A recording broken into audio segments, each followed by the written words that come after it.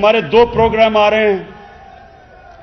एक है कामयाब पाकिस्तान और दूसरा है एहसास पाकिस्तान की तारीख में सबसे ज़्यादा पैसा खर्च किया जाएगा।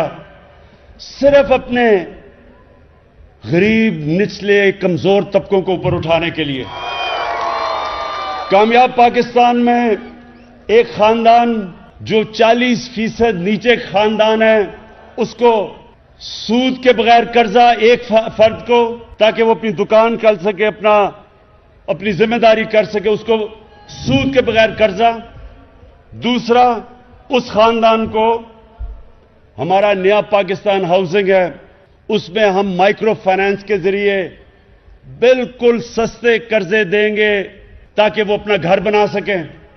ये पहली दफ़ा पाकिस्तान में होगा।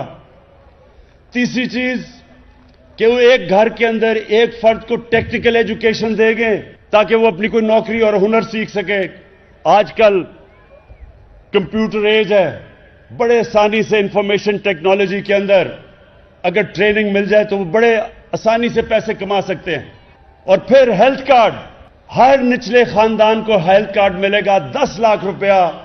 किसी भी अस्पताल में जाके अगर कोई बीमार हो, इलाज करवा सकता है। और फिर एहसास प्रोग्राम दिसंबर में शुरू हो रहा है। निचले 40 फ़ीसद खानदानों के लिए जो महँगाई आई है दुनिया में इस वक्त 40 फ़ीसद खाने पीने की चीज़ें महँगी हुई हैं, जब से ये कोरोना हुआ है। तो उसके लिए हम 40 फ़ीसद नीचे खानदानों के खाने पीने की चीज़ें, घी, दाल, चीनी, आटा, इसके लिए डायरेक्ट सब्सिडी देंगे उनको ताकि इनको सबसे सस्ती खाने पीने की चीज़ें मिलें।